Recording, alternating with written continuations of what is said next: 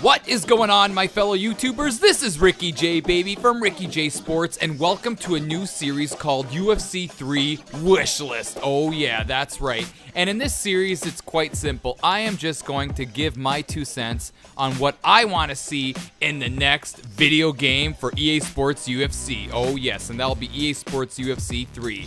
And in the first installment, I want to talk about draws.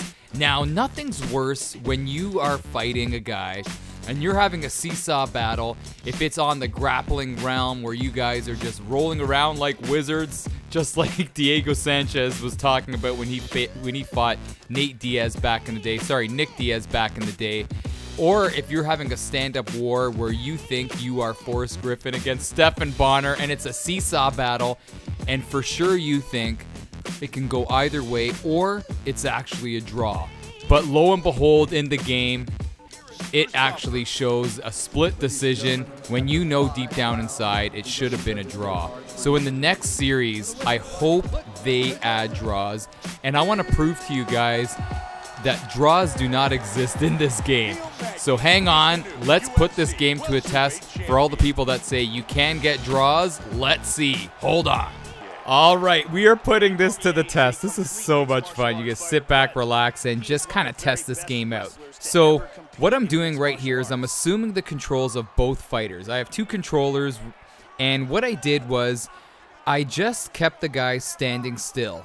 And we are going to see who the judges are going to vote for as the winner, or if they're going to say it's a draw, because nobody's doing anything. It's a stalemate, it's a bore fest, and beyond recording, I actually tried having one fighter win one round and then one fighter winning the other round, as we're fast forwarding right here.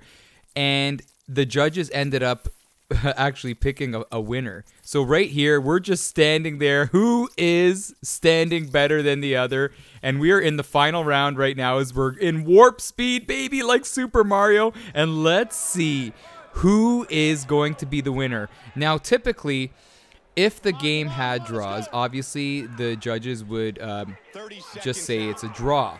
And I think, like I said in the beginning of this video, it would really add to the game if you have a nice war with somebody and they just say the fight is a draw and there's no winner.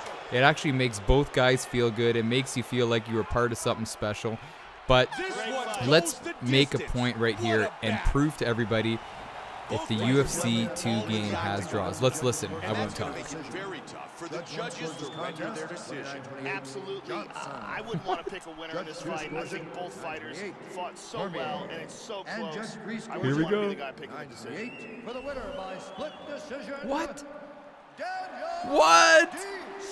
So that just proves there are no draws in the game. EA Sports, please add the draws. Look at that. Cormier had a better stance. He looked like he was more motivated than Johnson. I don't know. It's bizarre stuff in this game.